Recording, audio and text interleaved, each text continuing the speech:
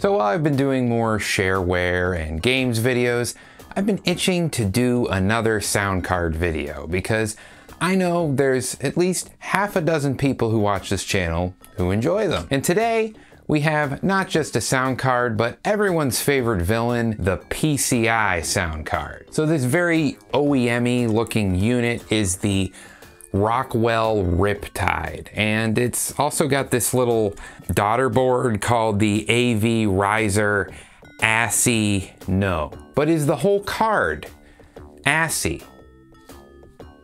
No. Now the keen eye among you might notice that this is a modem as well.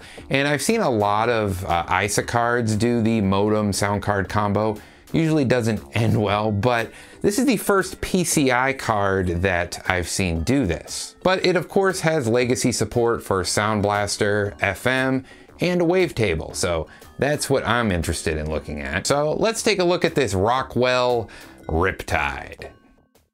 The main chip on this card that provides audio functionality is the RACC010. This was made by Rockwell Semiconductor around 1998 very close to when they spun off into Conexant Systems, which is why you'll see versions of this card with both Conexant and Rockwell branding on it floating around in the wild. Regardless, it's going to sound the same whether it says Rockwell or Conexant. If you look closely at any version of the chip, it also has ARM printed on it, and there are ARM LTD trademarks on the official datasheet.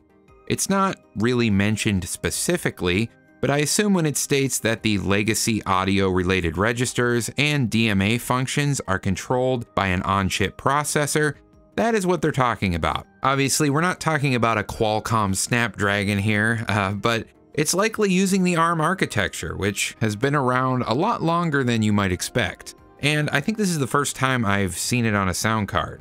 It also mentions that all legacy functions and direct sound are done in hardware, so there should be no CPU overhead involved here, which is always a bonus.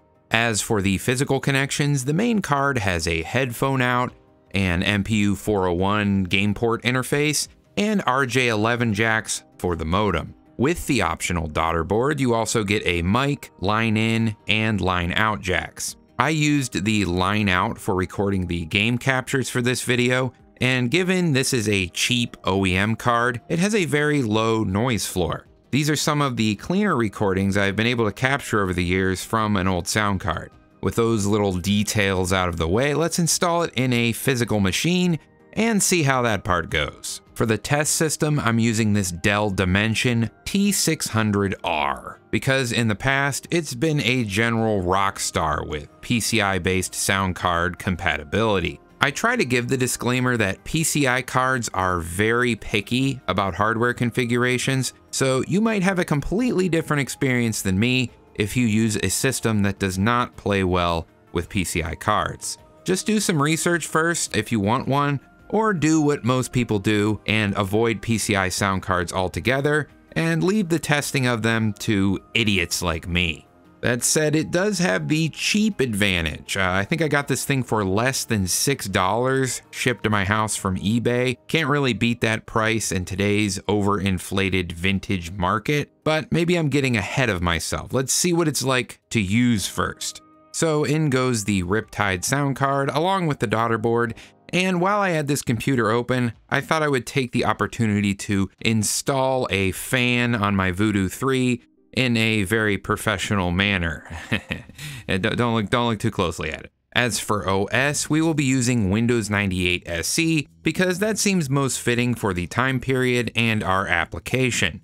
As for drivers, they're a bit weird and hard to find online. The most up-to-date driver package and the only one you're likely to find is the version 4.17, but it's just an update package, and while it does have the drivers, it's missing the required files to make the wavetable work, which for our case is very much a problem. According to some sources online, these files are only included in the HP recovery disk, which I have no idea which one I would need. So what I did is I found a related but incompatible driver package for the Riptide Chameleon then I just took two files from that, one called the genmidi.wsl and the other called gmram.ewa. Then I just copied those into the compatible driver package, and then everything just kind of Todd Howards into place and just works. I will upload a copy of these modified drivers on archive.org for your convenience below if you want to get this working for yourself. Other than that, it comes with a setup program that does everything for you, and in my case, worked with minimal fuss. Real mode DOS drivers are also included with the riputil TSR, but I couldn't get it to work. There's really no documentation on how to get this to work. I'm sure there's some command line switches you need to type in in order for it to detect the card properly, but I didn't really bother since if you're using a PCI card, you probably want to use it in Windows anyway where the wavetable is going to work. There are, of course, some exceptions of games that work better in real mode DOS, but for the purposes of this video, I just didn't really bother back to Windows, conveniently right in Device Manager, it tells you the proper interrupts to use, as well as options for the wavetable quality and sample rate, both of which I set to the maximum. The software wavetable appears to be an 8 megabyte sample set, and I think it sounds alright for what it is.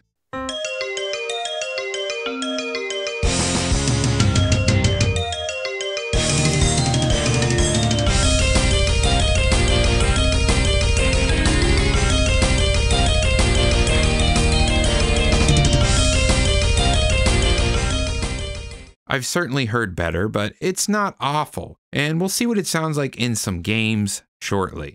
For now, let's talk about SB compatibility and the FM synth. For digitized sound effects, it emulates either SB Pro or original Sound Blaster, and from my testing, it does so successfully for the most part. As for problems, Duke Nukem 2 has some strange issue where all the digital sound effects are clipping in a way that I've never seen before.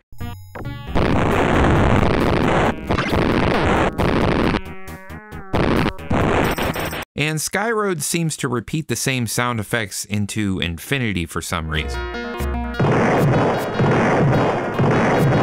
Overall, though, it's not bad. These are pretty minor problems compared to what a lot of PCI cards struggle with. So, whatever magic they're doing with their so called patented PCI Sound Blaster emulation, it seems to be working with only a few hiccups. As for the emulated FM, it does both AdLib and OPL3 with varying results.